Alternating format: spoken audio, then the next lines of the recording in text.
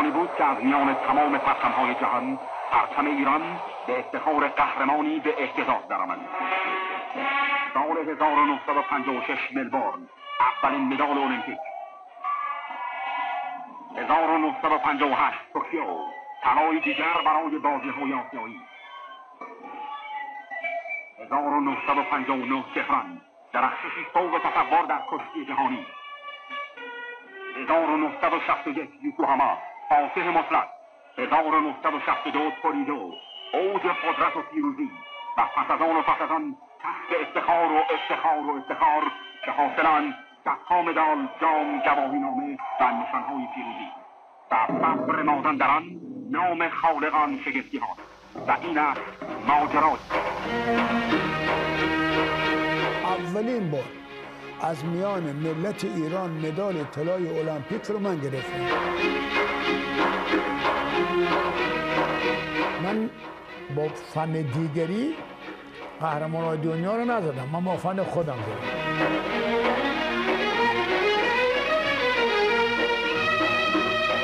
یه جوانی از آنصار ساری تو اون جمعیت پرید آمد وسط استادیوم گفت اینو میگن ببر مازندران.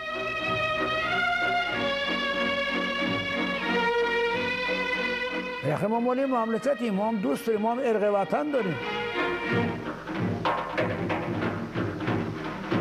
کی تونه می‌تونه باور بکنه که این آقا ستاره دنیا این آقا بولدزر دنیا لقب داشت. آقا یک دقیقه بود چهار ثانیه. این ضربه فنی شد تو مسابقات جهانی مسابقات رسمی جهانی. یک دقیقه و پنج ثانیه این ضربه شد که دو دندهش شکست و تصویرش می‌بینید شما ببینید اینها اینا چیه؟ کی کرده تا الان؟ یه پهلوان پیدا کن.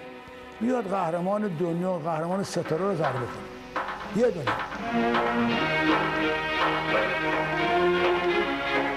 دیگر هیچ کس را یارای مقاومت در برابر او نیست. حبیب محبوب می شود مدال های طلایی که ملاحظه می‌کنید دونه دونه همه اینایی که می‌بینید اینا مدال های طلا هست نشان ها هست باز و بند هست بچه می‌دونم کشورهای خارج هست. همینطوری که می‌بینید اینا کادوهایی است که از گوشه و کنار مملکت و خارج از کشور. تا کنون از احدی از من مصاحبه این گونه نکردن. سوال نکردن ولی دارم بهتون میگم اولین بار دارم گفتگو می‌کنم. من امام علی حبیبی هستم.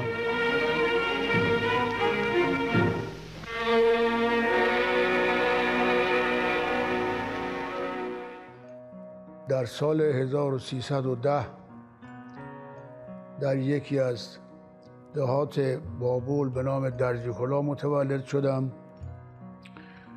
از خانواده کشاورز و پدر من هم در سن پنج سالگی بودم که منو به مکتب عربی فرستاد. تو اون مکتب عربی خانومی بود به نام ننه بیگوم این معلم ما بود. لباسش عوض می‌کرد با ما تمرین می‌کرد. ما بچه ها سن سالی بودیم که ایشون راحت با ما تمرین می‌کردن. فنون سرتیکی رو که شما امروز می‌بینید اینا رو همه من خودم اختراع کردم. اما او به ما فنی که یاد داد یکی سرزیر بغل بود یکی فن کمر بود یکی موش دو پا. این فنونی بود که ملسلام ملباجی ما به ما یاد داد. همشیره ای داشتم که ایشون در شاهی اون روز به قائم شهر امروز شوهر کردم من چون علاقه وافری به خواهرم داشتم دوست داشتم که در خدمت خواهرم باشم. و از اونجا آمدیم به شاهی اون روز و قائم شهر امروز جاده نبود. ما از اون طرف چاکلا جاده تازه تأسیسی که زمان رضا بود که جاده تأسیس شد ما پیاده به اتفاق مادرمون صبح نماز در بابول در بابول خوندیم. البته راه افتادیم. ساعت اذان الله اکبر رسیدیم به قائم شهر امروز. رسیدیم منزل خواهرمون. همانا موندیم. وقتی که آمدن تو این شهر رو یواش یواش یواش گفتم می‌دونی چه؟ الان موقع سربازی است داوطلبانه رفتم خدمت نظام سربازی.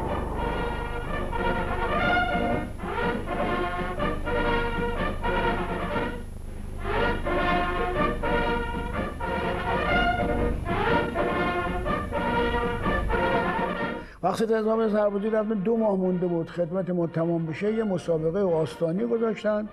در ساری تیپ مستقل گرگان هم یه تیم داد. گفته اینجا مثلا اعلام کردن که کی کشتی بلده کشتی بگیره. ما از صف آمدیم بیرون. گفتیم من هستم. یکی هم علی اکبر کیا میگیم؟ چند تا دوستان ما سرباز بودن آمدن. یه تیم تشکیل دادیم. آمدیم ساری. آمدیم ساری من تو وزن پنجم بودم. من گذاشتم وزن هفتم. سنگ ریختن تو جیب من آورد من تو وزن هفتم. تو وزن هفتم همه رو ما زدیم شدیم اول. زخ کردیم دیگه خوشحال شدیم و بعد آمدیم در دوازده کیلومتری گرگان ما رو آوردن. از اونجا با موزیک سربازخونه ما رو بردن تو سربازخونه بعد از دو ماه هم خدمت, خدمت ما تمام شد و فرمانده تیپ هم ما تشویق کرد و در دوازده روز مرخصی به ما داد. و خلاصه مطلب می‌خوام سخن رو کوتاه کنم. آمدیم مجددا شهر قائم شهر. یه روزی همچی حوثی رفتیم تو باشگاه تمرین کنیم. رفتیم تمرین کنیم مدیر باشگاه شخصی بود. او اصلا اولین بار من دیده بود. گفت کشتی بلدی؟ گفتم شما امتحان کنید کاری نداری گفت نه لباس دو بنده شلوار داری؟ گفتم نه. گفت خیلی خوب. من با همون شلوار لوچو که با لباس لوچو باشه کشیدیم رفتم وسط توشک پنج نفر رو اون شب بنده از نفس انداختم. اینا من پیدا کردم گفتم عجب چیزیست و فلان اینا و در این موقع به من گفت شما هر روز نه یک روز بیاید تمرین باش. ما تمرین از اینجا شروع کردیم.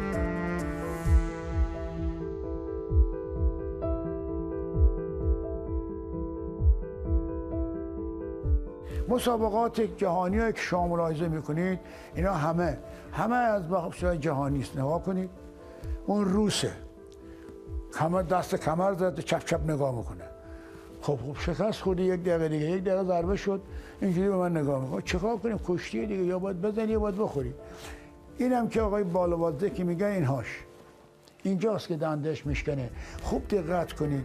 شما وارد در کشتی هستید. خب این کشتی چگونه دو تا پاش هواست این پای منه. اینم دست منه. خب من چجوری این دست دیگر رو اینجوری کردم؟ اینو گذاشتم این تو. ببین ها اینجا. آیا قهرمان دونه ستاره دونه اینجوری اسیر میشه؟ اینا فنه. اسم این اسم این فدراسیون بین‌المللی گذاشته فن حبیبی.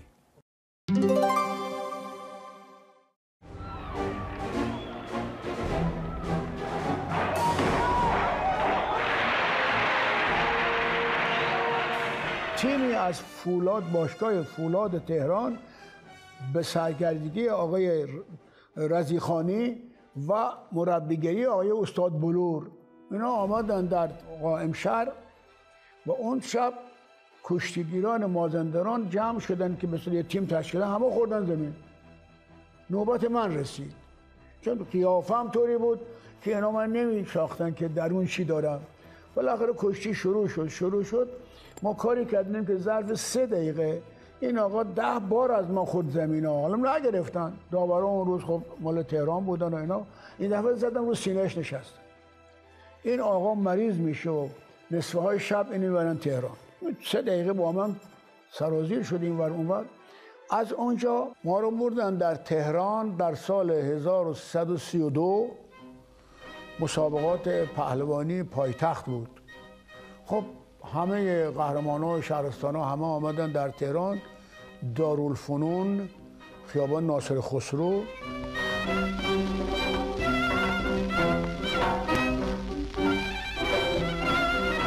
اونجا این مسابقه انجام شد. خب الحمدلله ما حالا اسم نمی‌برم چون خیلی ها دستشون کتاست مردن رفتن. خدا رحمتشون کنه. شورورزی 113 کیلو وزنش بود. از من 15 ثانیه ضربه شد. 15 ثانیه.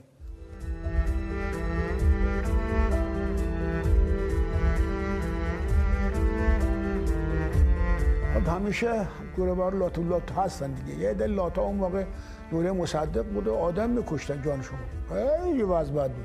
خلاصه بگفتیم نکنیم ما رو نفله بکنن اینا هر کس جان خودش دوست داره. یه افسری خدا رسون به نام سرگرد سعیدی با دو تا سرباز مسلح آمدن. دیدن که این همچه قصدی هست. گفتن هر کس با این طرفه با من طرفه.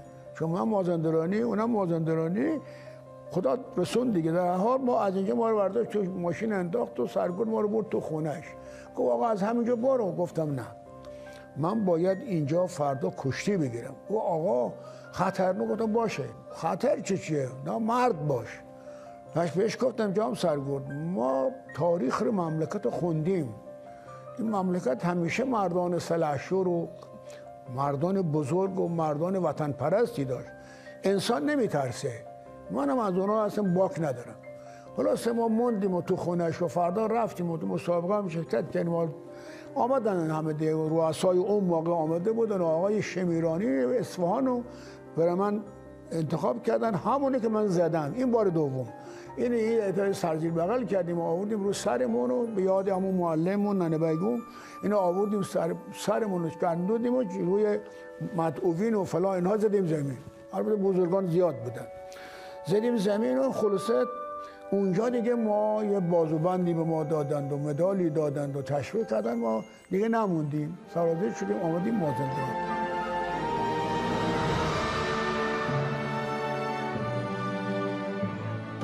سال 1935 مسابقات انتخابی تیم ملی ایران جهت شرکت در مسابقات المپیک 1956 در ملبورن در تهران انجام شد. این بی انصافا چون من خواستن رد بکنن رئیس سازمان تربیت اون وقت اسمش نمی‌برم خواستن که اون طرفی که می‌خواد به اول بشه کیه؟ اون آقای مهندس توفیق جهانبخت. مهندس توفیق جهانبخت سال گذشته قهرمان اول جهان شد نه المپیک. این ترغیب من بود. یه بار من اینو زدم باز دوباره آن آوردن بالاخره ما جلوی مدعوین این آخرین کشتی رو گرفتم یک دقیقه و سی ثانیه ضربش کردم. بالا ما رو خواستن. آقای ایزدپنا که نخواست من برم همین رئیس سازمان تدبیری یه حوله پالتویی گذاشت و کل من منو برد بالا. منو برد بالا بود در هر حال شاه برگشت گفته که آقا شما با این های بلندت باید تو دنیا اول بشی گفتم قربان اگه اعزام بکنن صد درصد اول میشن. تا گفتم چرا؟ گفتم برای اینکه قربان من مازندرانی هستم. گفت کجا مازندران؟ سه چهار فرسا با آلاش فاصله داریم. تا اینو گفتم نگاه کرد به ایزتون گفت ایشون مگه مسابقه انتخابی نبود؟ گفت چرا؟ گفت پس ایشون چی میگن؟ گفت ایشون خلاف به ارستون میرسونه. من گفتم آقا من مازندرانی و اهل روستا و ارشبت که خلاف بلد نیستم اصلا ما رو انتخاب کردن Each athlete becomes overnight a VIP. Special buses with police escort convey them to the largest international youth hostel in the world, the Olympic Village at Heidelberg.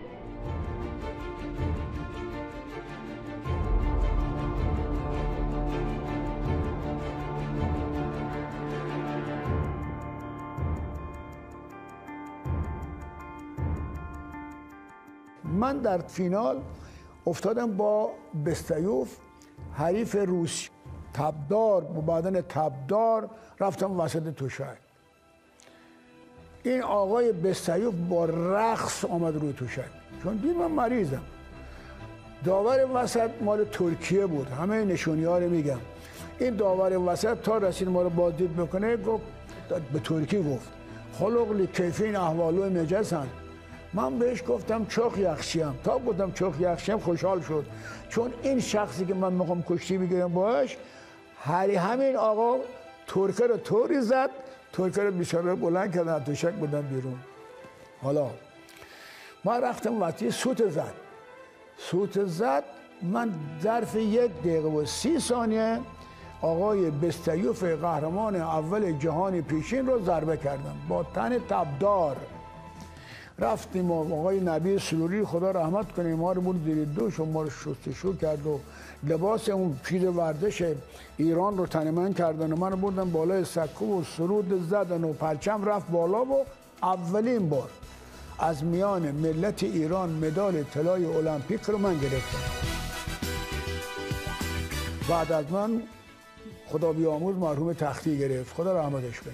آقای یعقوبی هم دوم شد خجستپور هم البته خجستپور وزن اول دوم شد یعقوبی وزن دوم دوم شد. دیگه بقیه همه بچه ها باختن. تیم ما هم در دنیا دوم شد اون موقع. در سال 35 ماجرا در ملبورن اینجوری گذشت.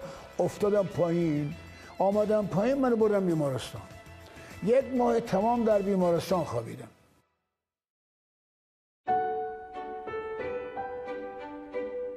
اون بیمارستان هم شخصی بود پروفسوری بود به نام پروفسور وایب.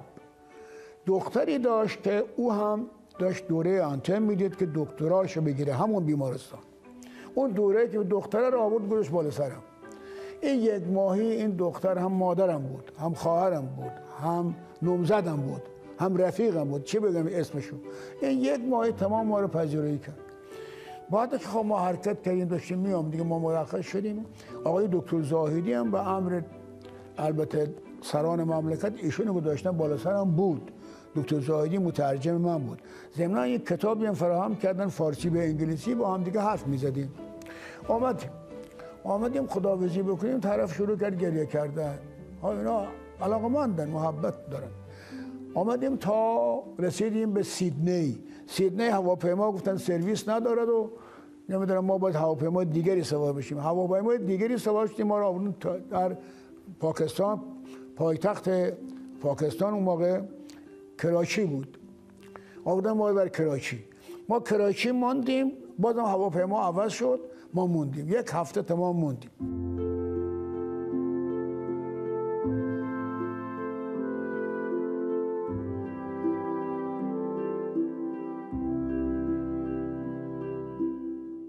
چون آقای باتمانگلیش اون موقع سفیر ایران در کراچی بود در پاکستان بود.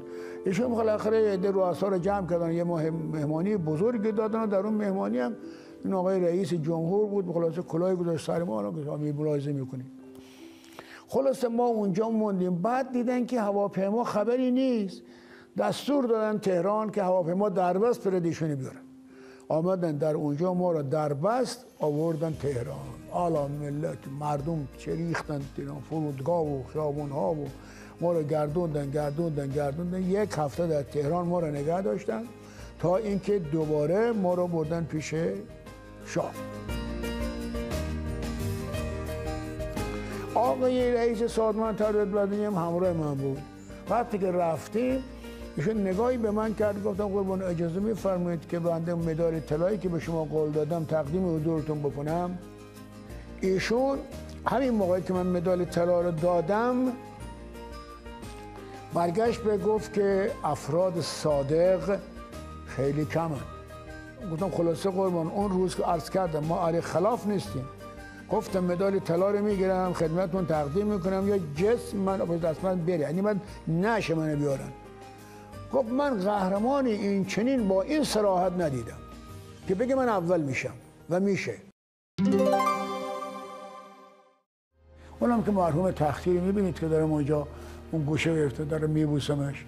مرحوم تختی عزیز ما اونجا سنا در یه مسابقه اتفاقا در خود سالون سرپوشیده لنین در مسکو آره اونجا کشتی با آلبول باخته بود. داشت ناراحت بودم بغلش کردم بوسیدم دلداری بهش شدم گفتم رفیق کشتی برده باخت داریم. بعد شد و شد و گفتم همینجا اینو می‌بری. بعد دوباره این میاد.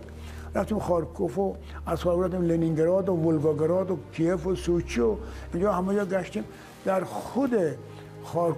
ولگاگراد آقای تختی به اونو دوباره برد. دیدی حالا؟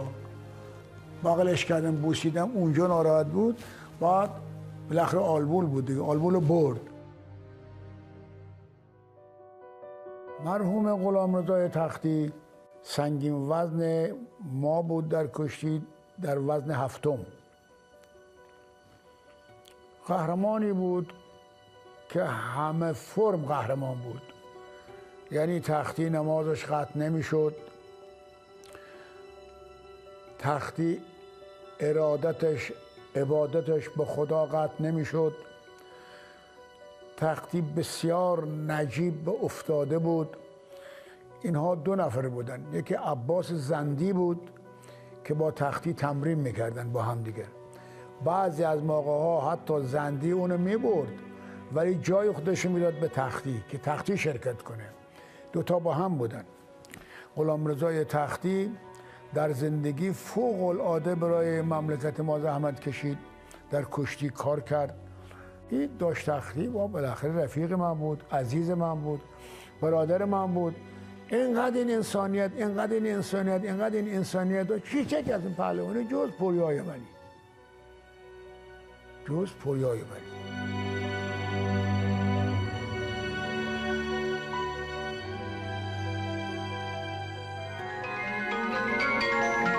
شاهنشاه بازوبند پهلوانی را به بازوی تختی پهلوان کشور بستند و به وفادار و نوری هر یک مدال طلا و نقره اهدا فرمودند. بعد از مسابقات المپیک مسابقات المپیک آسیا در ژاپن انجام گرفت. سومین دوره مسابقات ورزشی آسیایی در بعد از ظهر روز شنبه سوم خرداد در ورزشگاه عظیم ملی توکیو در پیشگاه شاهنشاه ایران و امپراتور و ملکه ژاپن با حضور والا حضرت شاهپور غلامرضا پهلوی ریاست کمیته المپیک ایران آغاز گشت. تیم ایران با شرکت 120 نفر از قهرمانان نیرومند و سرپرستان رشته های مختلف رژه می اونجا هم اول آسیا شدم المپیک. بعد می‌رسیم به مسابقات جهانی در تهران.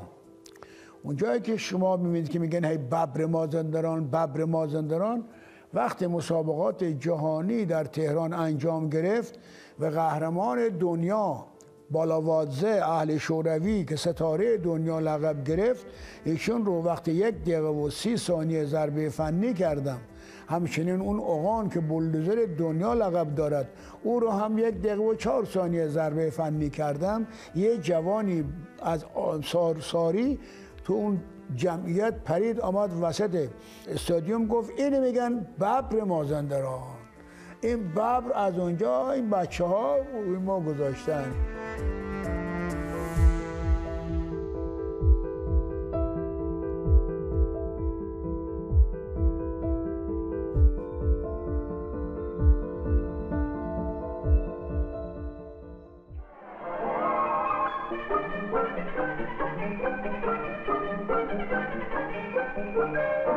رفتیم یوکوهامای ژاپن.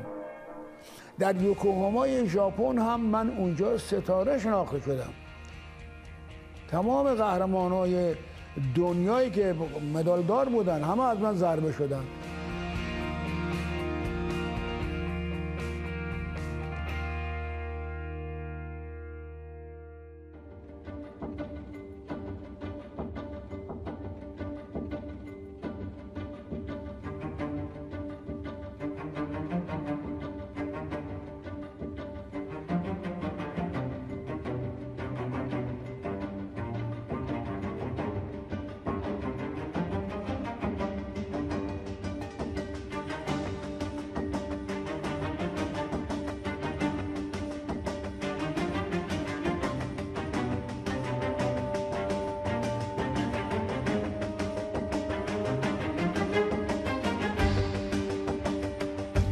من در المپیک روم پای راست من پای راست من من نمی‌دونم شما اسمش چی میگین وقتی موقعی پا می‌گیره حرکت نمی‌کنه.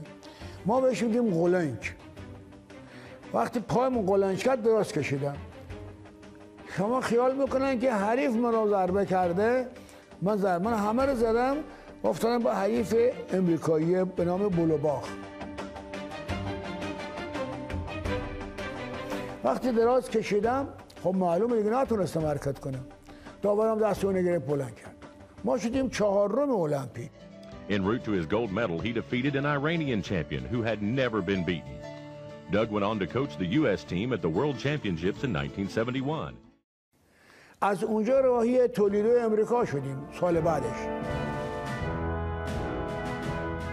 رفتم سراغ اون کسی که اینو می‌برد و اینو برده بود. تمرین گوشه کنار. اونو دو دقیقه ضربه کردم بنابراین قهر پنجمین مدال طلا رو گرفتم و آمدم و وایستادم همونجا رو توشک.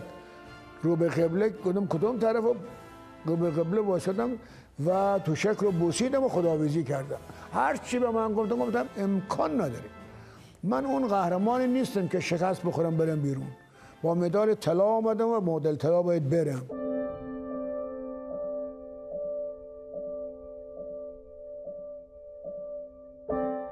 چیزی که در دنیا هم اونجا برای من اتفاق افتاده بود این بود که من وقتی رفتم بالای سکوی قهرمانی دیدم به جای سرود کشور ایران رو سرود کشور عراق رو گذاشتن.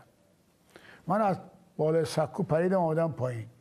البته هست این فیلم ها همه هست همه می‌دونن. بعد گفتن آقا چیه چی نیست؟ اینا فهمیدم آقا این سرود ما نیست.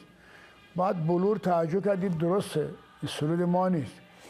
اینا چیکار کردن؟ از واشنگتن تماس گرفتن مرکز به امریکا. اونجاست از سفارت ایران خواستن. سرود ایران رو اونا گذاشتن به وسیله تلفن. پخش کردن من رفتم بالای سکو. که اون وقت این برای من خیلی خاطر انگیزه. چون اون موقعی که آدم بالای سکو وای میسه گوش به سرود میده باید خیلی توجه کنه. ملت ایران دارای یک پرچم دارای یک سروده بنابراین اونجا دیگه دوباره سرود گذاشتن و ما البته خاطر جمع شدیم آمدیم پایین. این شد ماجرای کشتی من در اونجا. از اونجا که آمدیم دیگه من مسابقات جهانی اینا شرکت نکردم. نکردم که همون به خاطر اینکه من پنج تا مدال طلا خواستم گرفتم. آ کی رو بزنم؟ شرکت کنم برای کی؟ کدوم قهرمان آمده که بگه من نزدم؟ یه نفر پیدا کنید که تو وزن من باشه من نزده باشه. بنابراین من دیگه دیدم توی این کوره خاکی همه رو زدم. خداحافظی کردم و آمدم سرباخت کشاورزی و مشغول کار کشاورزی شدم. سربار جامعه و سربار تربیت بدنی و نمی‌دونم وزارت ورزش هم نشدم.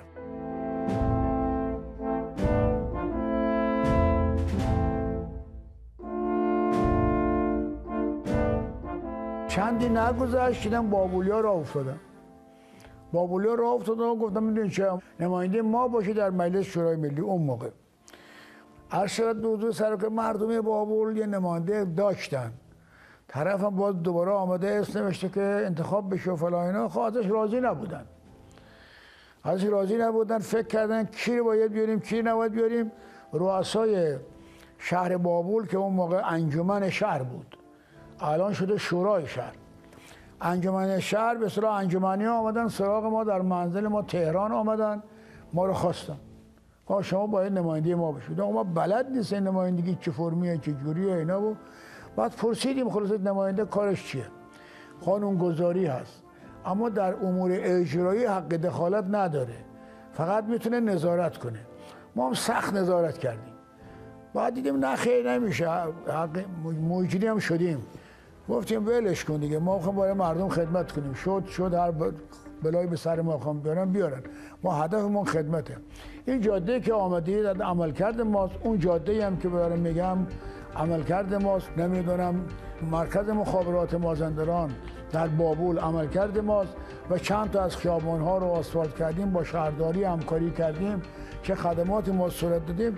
الان یادم نیست من چه کارهایی کردم. ولی خدمات خدمتی انجام دادم که هنوز تو ورد زبان ها هست. و سری خدماتی که انجام دادیم 120 هزار تومن زیر بار قرض رفت. 120 هزار تومن. روغن بود کیلو یک قرون. حالا ببینید 120 هزار تومن اون موقع روغن کره روغن بود کیلو یک ریال. چقدر میشه؟ نوبهار آمد و شد. باز دل من دیوونه گل پونه نناپونه سر زدم طرف چمن لاله و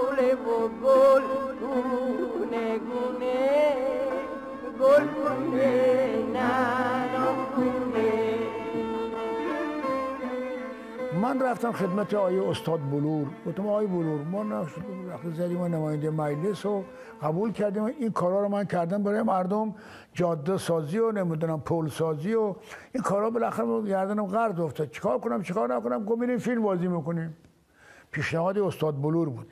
ما فیلم ببر مازندران رو بازی کردیم الحمدلله گرفت. کشتیگیر موفق باید سه اصل مهم و دارا باشه. ایمان جرأت و فکر. آقایون بس دیگه استراحت کنین. خب حاضری؟ بله استاد. لخ شو. این حبیب خیلی با دل و جرأته. سرعت عجیبی هم داره. بودیم فیلم که ما بلد نیستیم فیلم بازی گفت نه بلدیت نمی‌خواد. همون کشتی شلوار کشتی دو بندری که میپوشی میری وسط دوشک شروع می‌کنی به جنگ اون همونه. این فن تازه کی داره؟ میساقی یک کسی است که بیمارستان میساقی در تهران ساخت. که هنوز دارن استفاده می‌کنن. آقای میساقی یه جلسه گذاشت و نشستیم راجع به فیلم صحبت کردیم. فیلمی که ما می‌خواستیم بازی بکنیم به خاطر اینکه ما بدی ها بودیم زندان نریم. فیلمی رو گذاشته بودن اسمش که جوان مردان هرگز نمیمیرن. گفتم نه شما به خاطر من چون من معروف به ببر مازندرانم اسمم بذاریم ببر مازندران. قبول کردن و این فیلم ببر مازندران گذاشتن.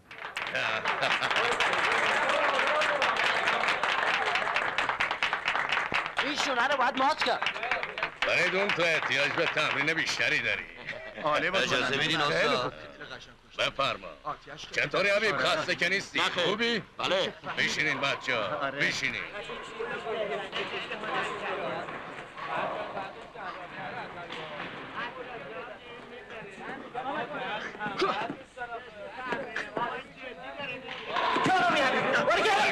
باریکلا حبیب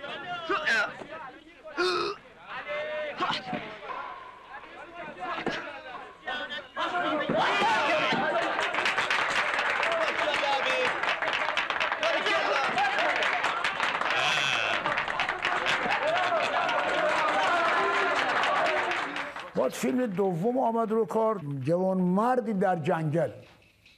اونم گرفت.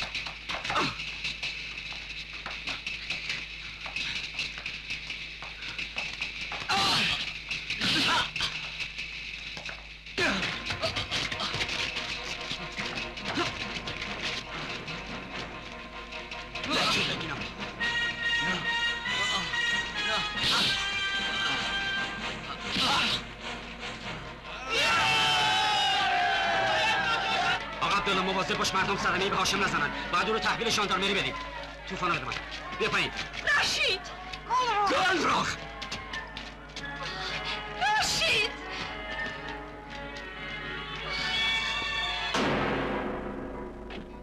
یکی هم بازی که به جهنم سفید. ببینم. صاحب این قهوه خونه تویی؟ مثل اینکه آقا گوشاش کره. آهای با تو هم گفتم صاحب این قهوه خونه تویی؟ اشتباهی اومدیم قربان. اینجا قهوه خونه نیست. اما هرچی هست صاحبش منم. فرمایشی دارید؟ می‌خواستیم اینجا رو واسه یه شب اجاره کنیم. اینجا هنوز واسه مسافر آماده نیست آقایون. یه خورده کاریایی داره که باید انجامش داد. نه با طور برزه نه آبش نه آشپزخونش. چند روز دیگه با امید خدا افتتاحش می‌کنم. خلاصه داداش تا اینجا روبرا نشه و یه سر و سامونی نگیره نمی‌تونم کسی راه بدم. معذرت می‌خوام. خب این که کاری نداره. خود ما واسه افتتاح می‌کنیم. بچه ها ماشین رو بزنین کنار. جا از اینجا دنشتر گیرمون نمیاد. در اختیارمون.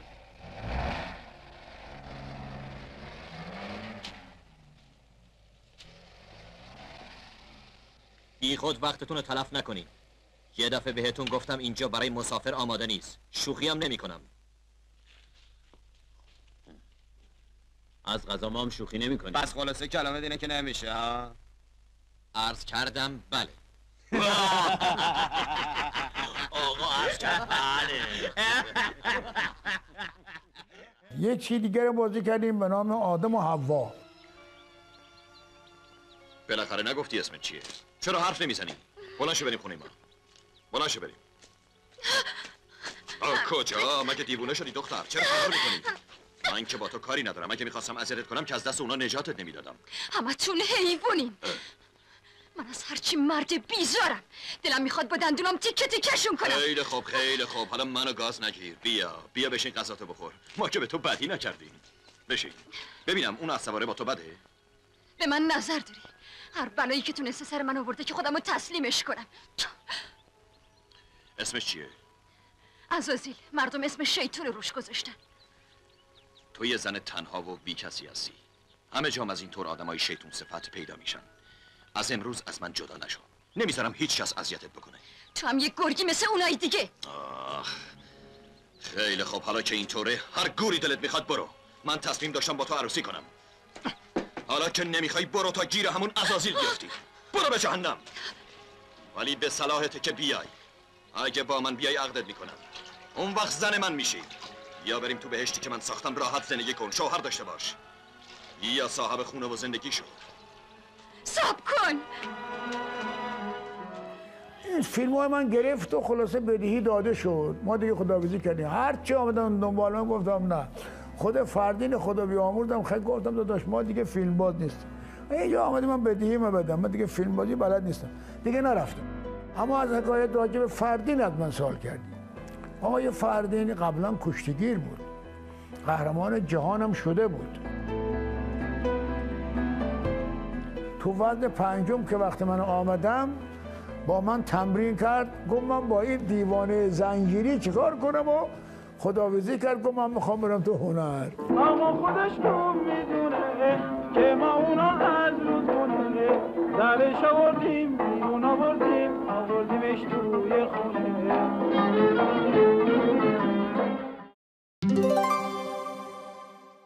متاسفانه کشتی امروز نه در ایران بلکه تو دنیا کشتی عوض شد.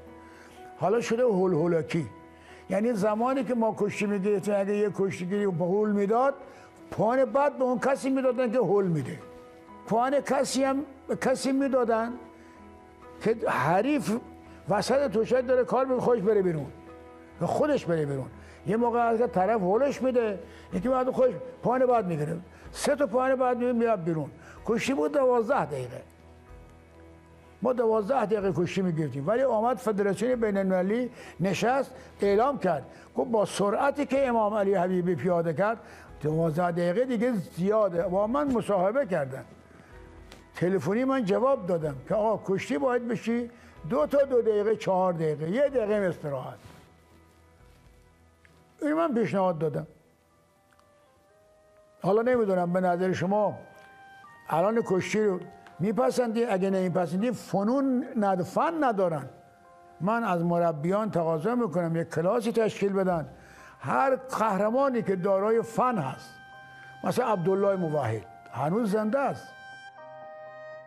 بنده امام علی حبیبی. شگر ما در اختیارشون می‌ذاریم. که شما چگونه این فن رو اختراع کردید؟ چگونه پی ما این فن مجانان در اختیارتون می‌ذاریم. بالاخره ما مالی مملکتیم. ما هم دوست داریم. ما هم ارق وطن داریم. الان آقای خادم که رئیس فدراسیون کشتی هست اتفاقا ما بهش خیلی امیدوارم. فوق العاده اینی میگن رئیس فدراسیون چرا؟ هم کشتیگیره هم قهرمانه. همین که آدم سالمیه هم آدم با تقوام هست. من در 20 سال پیش این بچه رو شناختم. خیلی آدم خوبیه. حالا این من معتقدم امثال اینها باید بشن رئیس فدراسیون وزیر ورزش. بودجه سازمان تربیت بدنی و ورزش باید در سراسر کشور اختصاص داده شود. چرا؟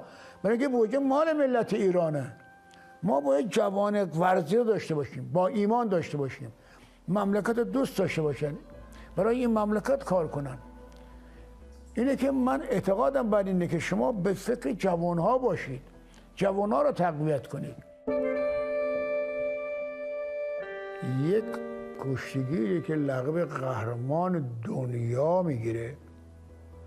این باید بالاخره مطابق این اسم و مطابق این افتخارات افتخارات ورزشی دارای یک فنونی باشه که سابق می‌گفتن شگرد. شگرد فلانی چیه؟ فلانه. فلان فن شگرد فلانیه. من با فن دیگری قهرمان دنیا رو نزدم. من با فن خودم زدم. فنایی که تو دنیا به نام من هست. یکی فن یک دست و یک پاس. که همال الان روسا دارن روش کار می‌کنن. یکی فن سر و یکیه. سر و یکی یه فن نیست که بنداز دیگه فن بنداز فن بنداز. یعنی کسی دیگه تکون نمی‌تونه بخوره. یا باید خفه بشه یا باید دست بزنه بابا ولم کن. پس یک دست یک پا هست و و سرت یکی. فن دیگری که الان شما همینجا می‌بینید این فن بالا واضحه که داره اسیر داره دنداش میشکنه این اسمش فدراسیون گذاشت فن حبیبی. پس ما سه تا فن در دنیا اختراع کردیم. یک دست یک پا سر تا یکی و فن حبیبی. من چرا تا کنون تو ورزش کشتی این فنون خود ما انتقال ندادم به این بچه ها نخواستن از من. چراش دیگه ما نمی‌دونیم. خود بپرسن. نمی‌دونم من نه کمونیستم نه خدای نکردم. بی وطن. این وطن دوست دارم. من ترکیه من خواستن. از شود که ژاپن من خواستن. همین روسیه من خواستن. آمریکا برای چیز تربیت بچه هاشون فران یک وکب خاک مملکت به دنیا نمیدم. من اینجا زاده شدم. اینجا رو دوست دارم. همینجا هم باید کار کنم. همینجا هم باید بمیرم. نام جاویده وطن صبح امید وطن.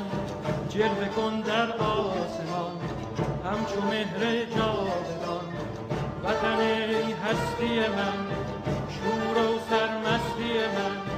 جلوه کن در آسمان همچو مهر جاودان. بشنو سوز سخنم که هم آواز تو منم. همه جان و تنم وطنم وطنم وطنم وطنم. بشنو سوز سخنم که نواگر این چمنم. همه جان و تنم وطنم وطنم وطنم وطنم. بشنو سوز سخنم. سالی که من ورزش گذاشتم کنار سال 1942 بود. چند ساله. یه نامه دو خطه از فدراسیون کشتی ندارم که به تو بیا این فنون تو به این جوان منتقل کن. بابا نه پول می‌خواهیم نه ماشین می‌خواهیم نه راننده می‌خواهیم هیچی. اینها نمی‌دونم چرا خودم نمی‌دونم. من حبیبی را نمی‌دانم که فنی چند دارد آنقدر دانم که این کوه قوت الوان دارد در المپیک جهانی. سکه مردانگی زد با حریفان ضعیفش مهر بیمانند دارد. تیر روز اون پهلوانی که شب فینال کشتی لنگ و سر و یکی دست و پا را بند دارد از مردیش این بس که تمام خلق گویان خوش به حال مادری که این چنین فرزند دارد. کس نشد بیرنگ شاگردی به کار خیش استاد. نازم استادی که شاگردان دانشمند دارد. این ستاره کوکب رخشند کشتی داوری گفت رشته مهر و محبش با علی پیوند دارد. تیم ایران گشت اول در جهان ای پهلوانان ملت از این قهرمانی خاطری خورسند دارد. شد اوغان ترک مغلوب وکیل مجلس ما بیش از اینها در سیاست مغز نیرومند دارد. تیز چنگ و آهنین پنجه حبیبی را کفایی مثل زندی می‌توان گفت. حسن بازوبند دارد. شاعر خانم کفایی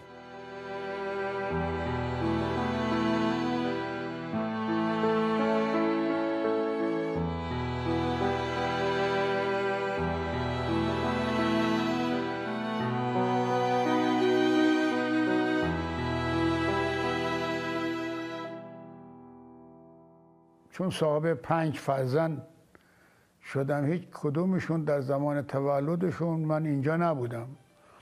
همش تو اردو بودیم و تو مسابقه و اینا. همسرم خب تنها بود دیگه. به حضور سرورم عرض بکنم که از طرفی من یه آدم مذهبی هستم. نه البته مذهبی افراطی هم نیستم. من به عشق پنجتن آل عبا خواستم از خدا پنج مدار طلا به من بده. و پنج فرزند به من بده و اتفاقا هم پنج مدال طلا رو گرفتم هم پنج فرزند. ولی پنج تا اولاد دارم دو تاشون دخترن سه تاشون پسرن هفت هم نوه دارم هفت تا نوه دو تا پسرن بقیهشون دخترن. بعض دو دو سرکار که یه دونه نتیجه داریم. نتیجه ما هنوز ندیدیم. حالا این رو بریم ببینیمش. تو امریکا هستش. این هم که می‌بینید مسابقات المپیک 1957 آسیایی هست در ژاپن. اینایی هم که می‌بینید اینا تمام اینها رو مردم هدیه کردن که سلطانی عالم را تو فیل عشق می‌بینم. به مژگان سیاه کردی هزاران رخنه در دینم. بیا که از چشم بیمارت هزاران درد برچینم و الی آخر.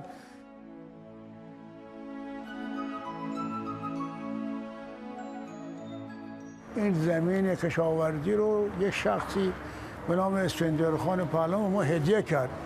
ما بعد زحمت کشیدیم و نهال کاری کردیم که می‌بینید ده هکتار هست که سلام سه چهار هکتار خریدم شده 14 هکتار.